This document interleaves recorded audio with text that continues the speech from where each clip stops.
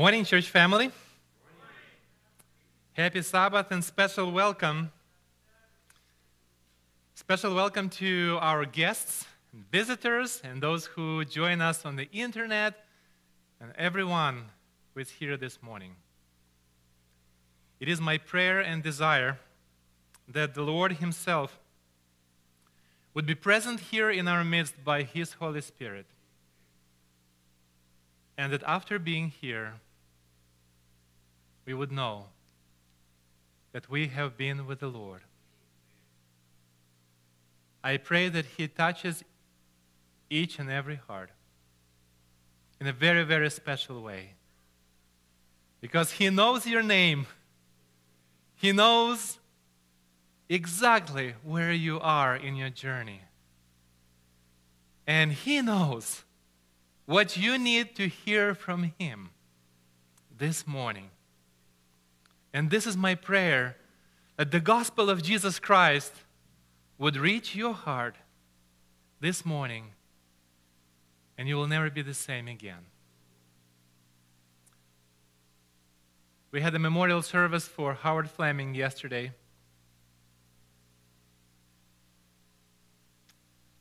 We miss him. He's resting in Jesus. What a great individual and a friend he was. I was hesitating if I should tell you this or not, but God is leading me to the point where I need to share this with you. About five Sabbaths ago, as I was standing in the back, Howard came to me. Because he was attending here quite often. And he said, Pastor, this is the last time. I said, Howard, are you kidding me? What, what do you mean? He says, There is always a last time. And this is it. I'm like, Howard, you're, this is one of your jokes. you know, this, this can't be true because you're, you're just visiting and joking. And, and uh, but he says, Yeah, this time is true. I can't explain it. So as he left, I thought to myself, It can't be true. But at the same time, I thought, hmm, it can. Our lives are very fragile. This is why I take every time that I have an opportunity to share Christ, I take it with a lot of prayer and humility, praying that God would give me a tenderness and love to deliver the gospel because I always know there is someone in congregation that may be hearing it for the first time. At the same time, the reality is there may be someone who's hearing it for the last time. We never know. That's why I was hesitant if I should share it or not. But that's the reality of life, and that's exactly what happened.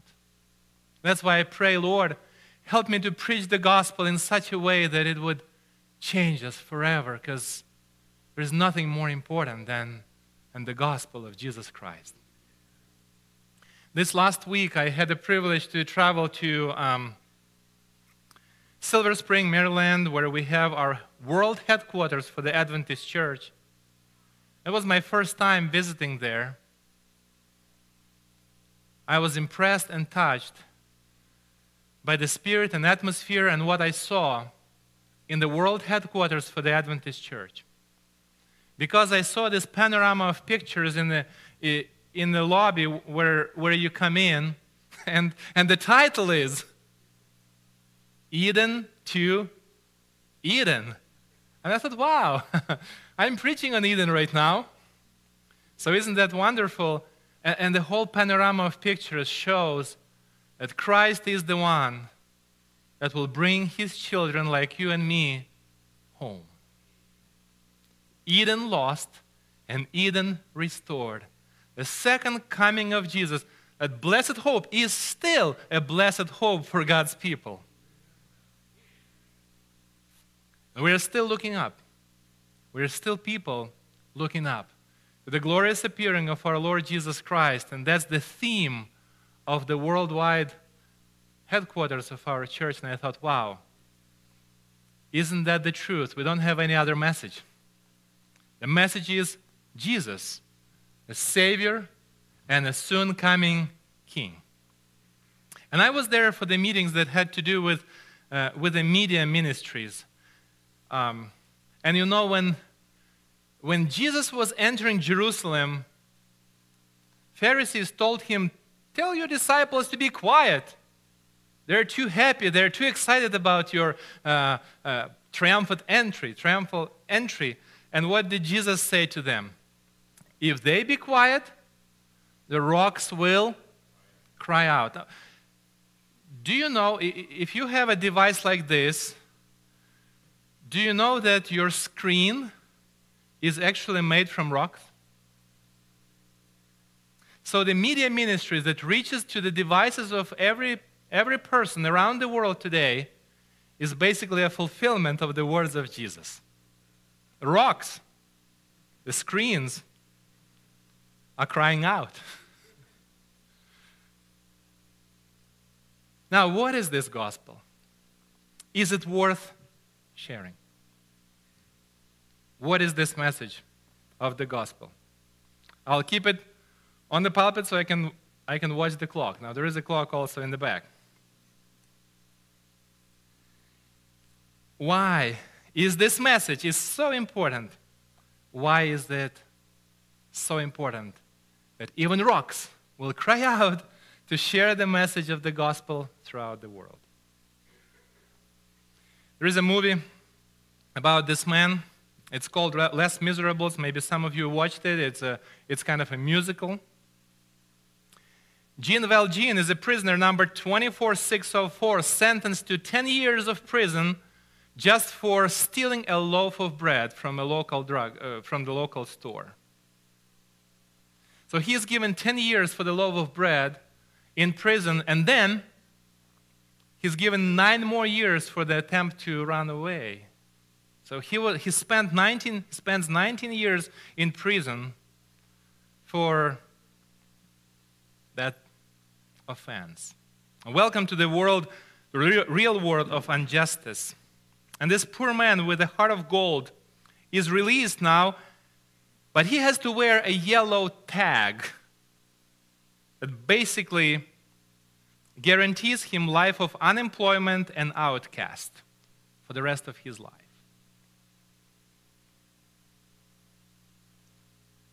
He's never given a second chance. He is treated as damaged goods who are still a threat to their community.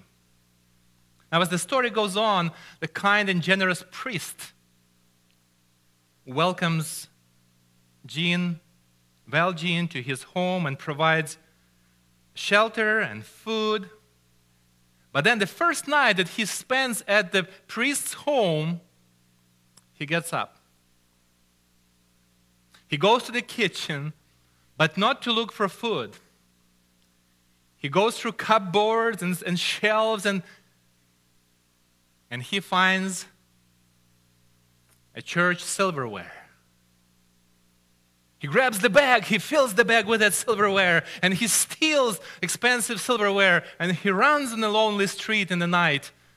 And he tries to find a place where he would go with this silverware that he just stole from the people that gave him shelter and food and everything. And of course, police seize him and they arrest him and they bring him back to the priest's home and they tell the priest, hey, look, we got the robber. He stole your silverware, and we, we, we got him, we, and we brought him to you, and the justice needs to be now done to him. And the priest says, He didn't steal it from me. I gave it to him.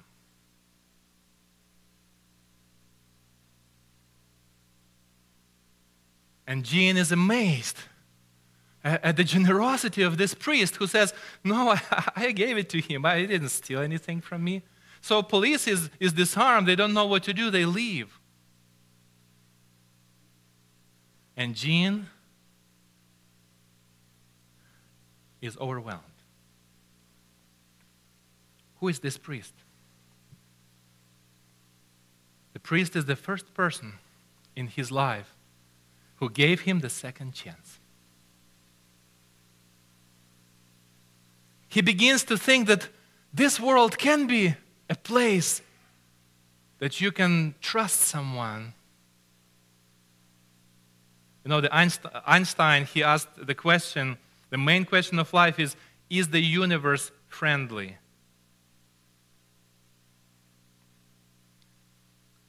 Jean Valjean,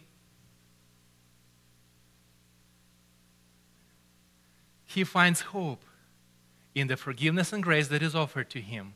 He gets his new identity and a new name. He moves to the big city. He begins to work for the big factory. He becomes the owner of the factory, and eventually he becomes the mayor of the city. The tremendous story of the change.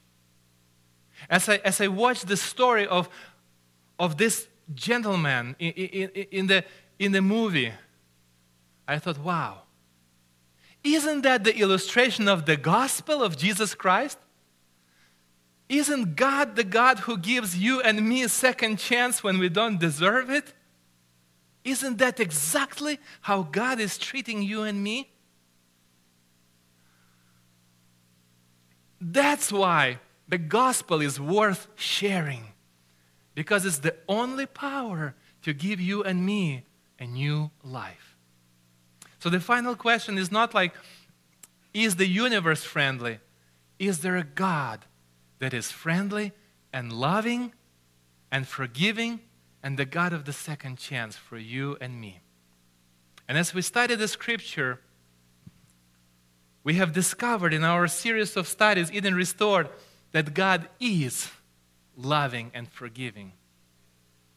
Yes, we are still dealing in, in the world of sin, but Bible has a good news for you, and I invite you to open Revelation 20 and verses 1 through 5, where it says in the Bible that there will come a day when the one who is making, trying to make your and my life miserable, the one who created all, the, all kinds of distortions and evil in this world, he will be put to stop. His activities of evil and sufferings, and all of those things that the enemy is trying to do in this world will end one day. And that's the good news of the gospel because God is the God who is going to save his children and make universe a new place again. Revelation 20 verses 1 through 5 and I saw an angel coming down from heaven, having the key of the bottomless pit and a great chain in his hand. He laid hold of the dragon, that serpent of old, who is the devil and Satan, bound him for a thousand years. And he cast him, Bible says, he cast him into the bottomless pit and shut him up and set a seal on him so that he should deceive the nations no more till the thousand years were finished. But after these things, he must be released for a little while.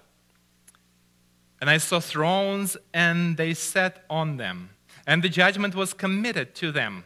Then I saw the souls of those who had been beheaded for their witness to Jesus and for the word of God, who had not worshipped the beast or his image, and had not received his mark on their foreheads or on their heads. And they lived and reigned with Christ for a thousand years. But the rest of the dead did not live again until the thousand years were finished. This is first resurrection.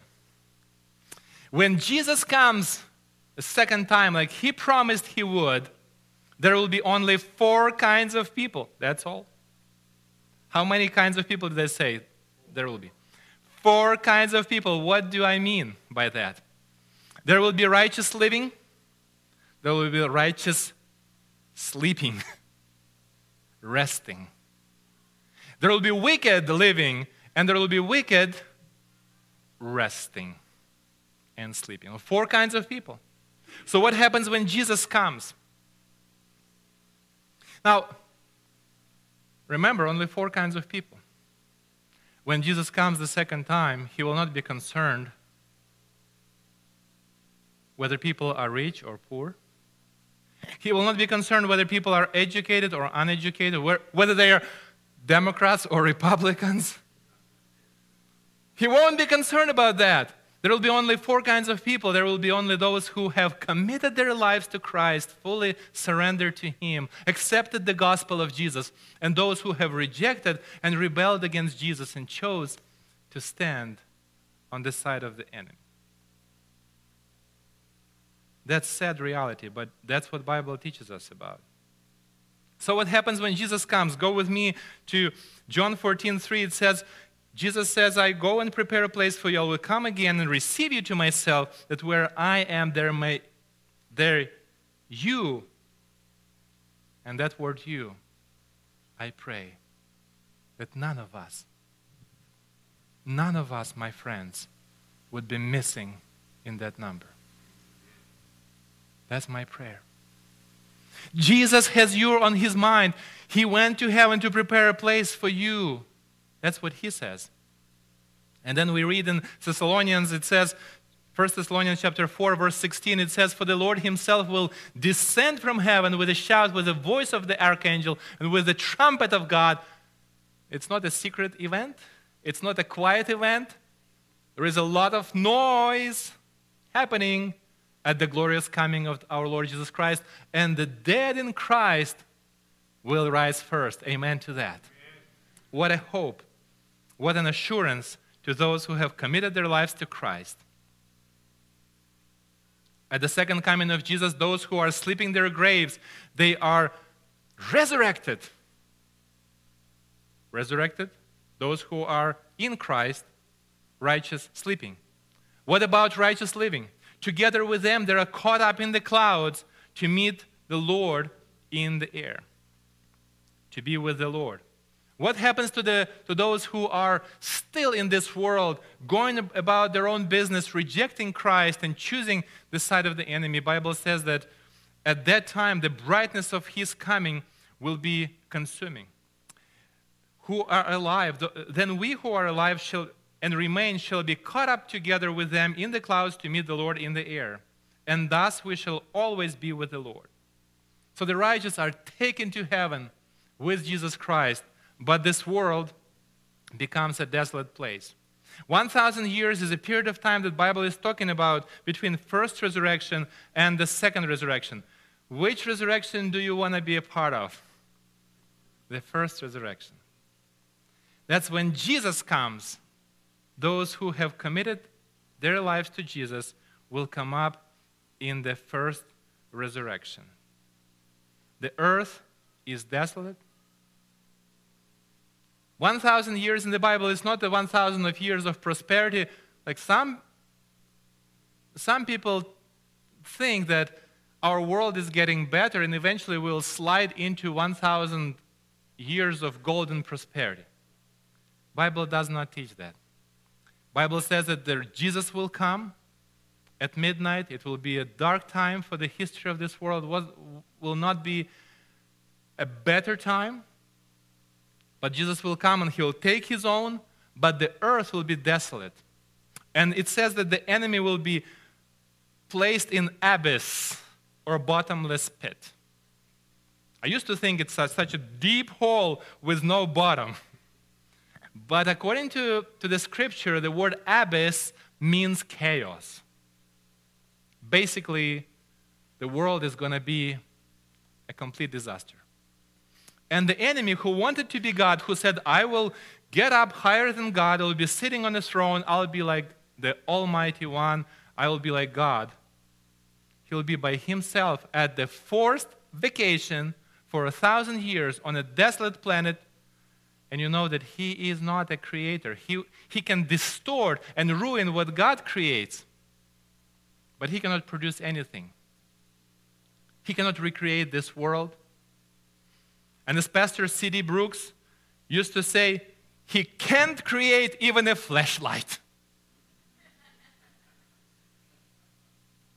In a dark place, he can't create even a flashlight for himself. That's the condition of this world, according to the Bible, during the thousand years. But the scripture says that the redeemed ones will be reigning with Christ in heaven for a thousand years. They will be there with Christ their questions will be answered. The books will be open to them because the Bible says that the judgment is given to them, meaning they'll be provided all the information. There is nothing that God does under the table and it doesn't say it's not your business. God never does that. He'll open up everything. And all the questions will be answered.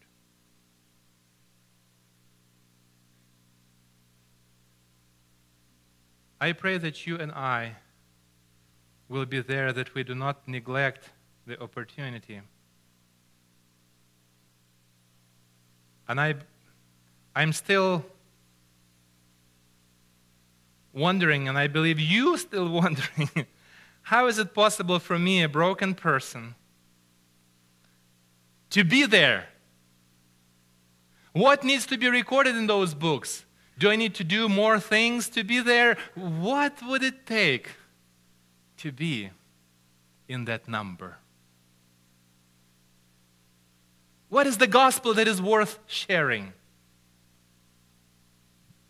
Go with me to the book of Genesis, chapter 48.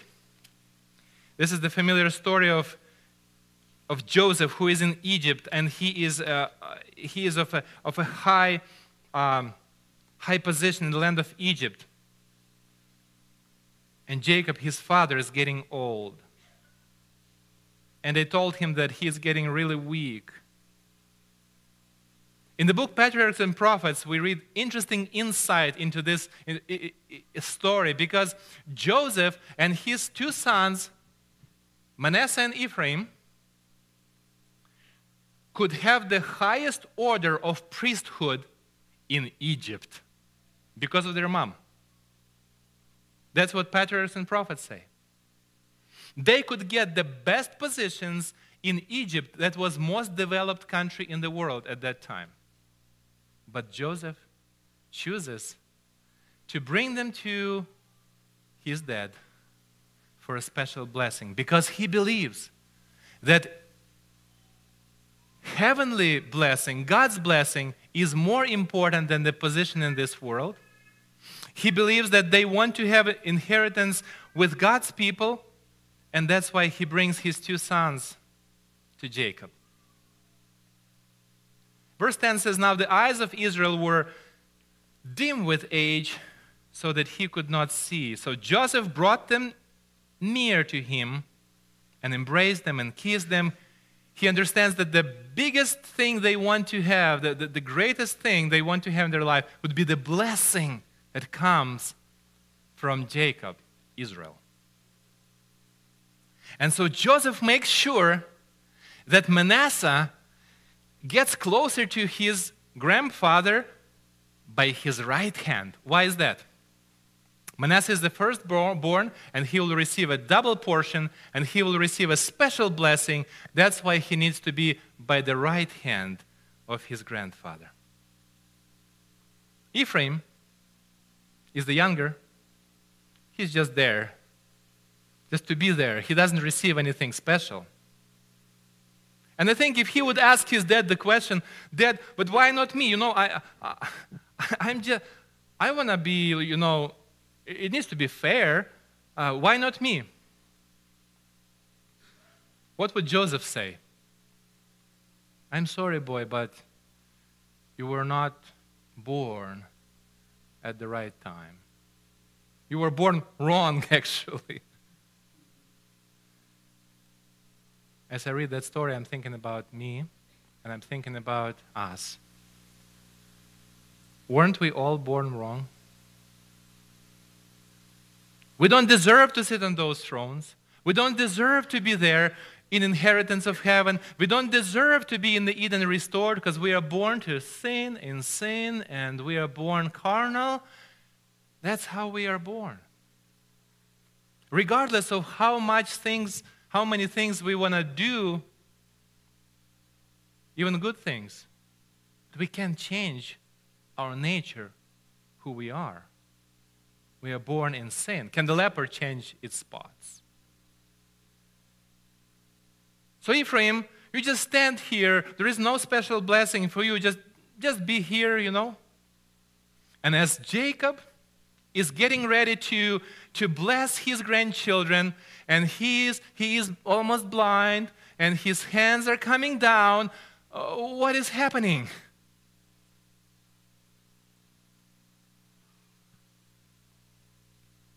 His hands are coming down, and he is crossing his hands. And Joseph, that was preparing for this moment of solemnity and special blessing, he's thinking, oh my, my, my dad is more blind than I realized. He doesn't really see, you know, what is happening. And what is he doing? This is wrong. This is not right. What is he doing? Manasseh is the firstborn. He needs to be by the right side and receive the, a special blessing and inheritance. Ephraim doesn't deserve this. And Jacob crosses his arms.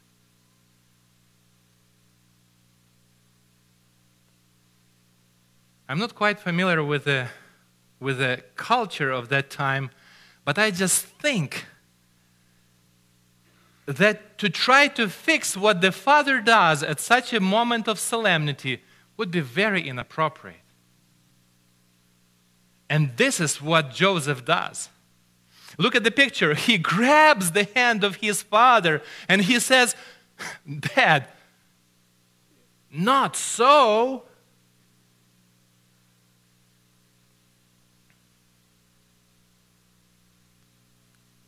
Ephraim doesn't deserve your right hand. Let me move your hand and put it where it belongs. It has to be on Manasseh. That's how things should look.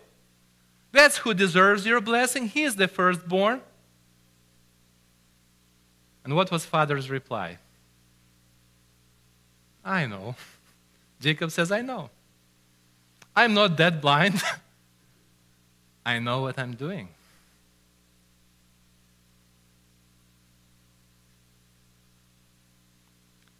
When I think about that story, I think of another time, thousand years down the road, when the Heavenly Father crossed his arms on the cross of Calvary. On his precious, only begotten Son, the deserving Son the Son who deserves all heaven and everything,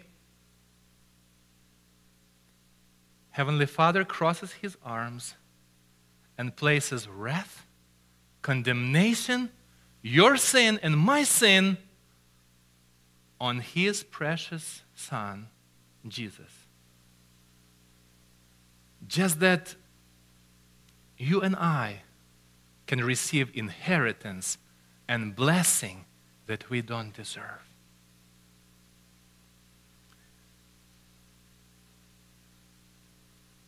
As I, as I thought about it and prayed about it, I thought, why would Jacob do that? Was he firstborn or a secondborn born? Second. Did he receive the blessing? I will not let you go, he said on that night until you do what? Until you bless me. He wanted to, to have the blessing by all means, and he received that blessing. And undeserving, his name, Jacob, means a cheater and traitor. The one who turned away from God so many times, but the Lord placed his blessing on him. And God provided that illustration for you and me in the scripture so we would see that sometime later, that's exactly what Jesus will accomplish. He will become the one who will take your sin and my sin so that you and I can be seated in heaven. That's the gospel. There is no amount of good works that we can do to, to deserve heaven.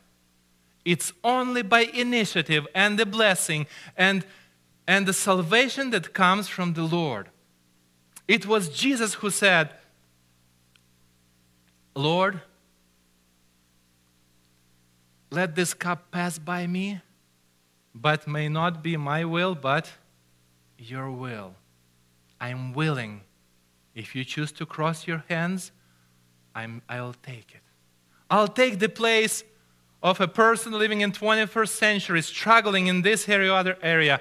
I'll be representing them in the judgment of heaven. And I'll tell the whole universe and the accuser of the brethren, my blood, my blood, my blood.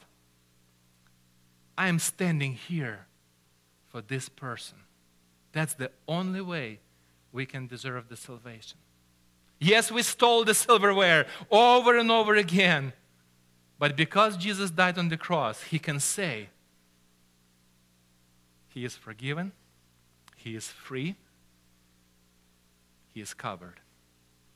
Case is dismissed because I have taken His place and I'm giving Him a second chance. You know, we can, we can study many more details about millennium and judgment and events that are happening in the beginning and the end, but one thing I want you to remember that when the enemy comes to you and he wants to tell you that not so, you don't deserve anything. Your marriage cannot be saved, cannot be restored. God says, Yes, it can. My grace is sufficient from you, for you. If the enemy comes and he says, Not so, you will not make through this storm. This storm is too big for you. You're going to get crushed through this storm. God comes and he says, You will make through this storm because I will be with you in this storm and I'll lead you. He said, I will never leave you or forsake you. That's the message we need for today. Because God will lead his people like you and me to the great day when there will be no more sorrow, no more death, just because there was a time when his hands were crossed on the hill of Calvary and he laid the things that you and I deserve on his son. See, we, we, we grow up with idea that you get what you deserve, don't we? That's the idea we grow up in. It's in our mind. You get what you deserve, the performance based society. But when it comes to the gospel, if you surrender your life to Jesus and come to Him with all of your heart and give it to Him, you get what Jesus deserves. That's the gospel. I think you didn't hear it. If you surrender your life to Christ, you get what He deserves. Amen. This is the gospel. Glad and merry tidings that makes man heart sing with joy.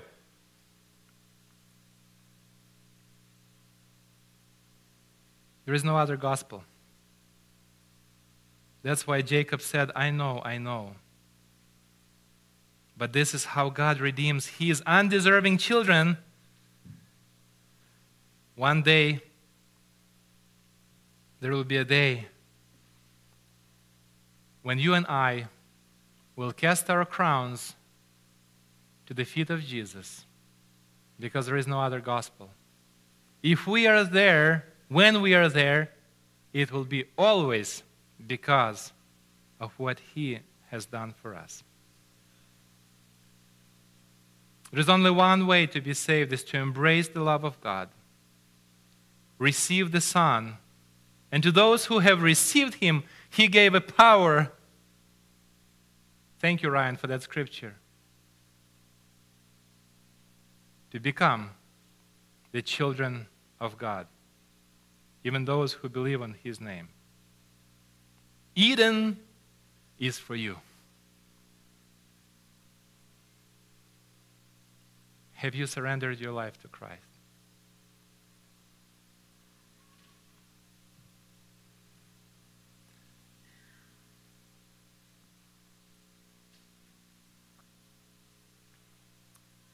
2 Peter 3:13 says, "Nevertheless, we according to his promise look for new heavens and new earth in which righteousness dwells." And how we get there? It is by surrendering to Jesus and choosing him to be first and best and last in your life and mine. Have you made that commitment, friend? If not, I pray that you will make it today. You don't have to wait.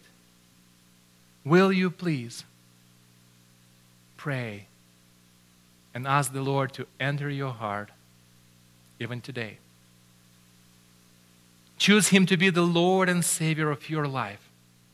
There is no more important message, there is no better gospel anywhere in the world.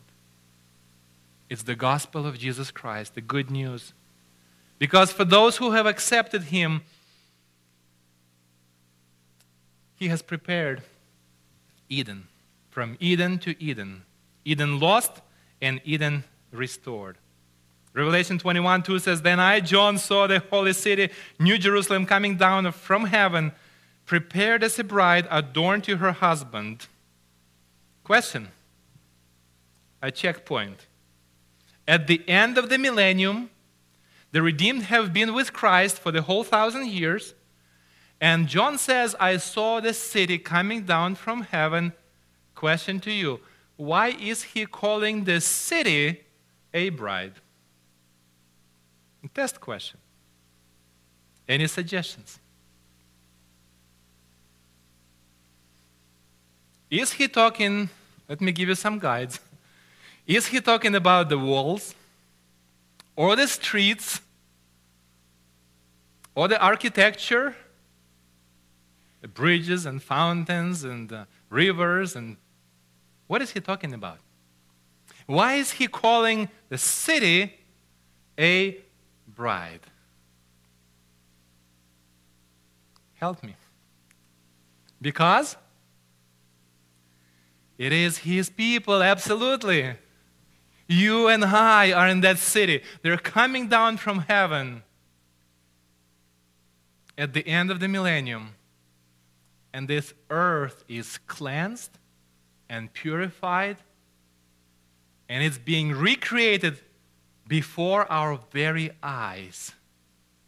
God will go through the same process of creation by recreating the world to its original beauty. But the word bride is my favorite word in this scripture because in that word, you and I are included. And you and I can be there if we follow Christ and surrender to Him and choose Him daily to be our Lord and Savior. That old spiritual says, when the saints are marching in, I want to be in that number. How about you? I want to be in that number. In order to be in that number, you have to make the decision today.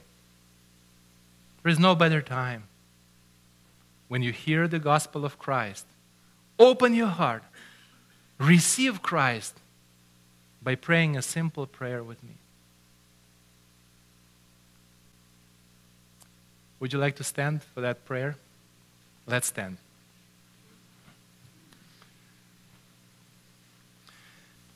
Lord, you know me. You know that I am a sinner. Lord, I pray that your precious blood cleanses me, and washes away my sin. Thank you for the forgiveness and grace. Thank you for calling me your child. Help me to trust in you every day. And thank you for the hope of eternal life and the new home that is being prepared for me. I pray that by God's grace, none of us would be missing on that beautiful day of reunion and celebration. In Jesus' name we pray. Amen.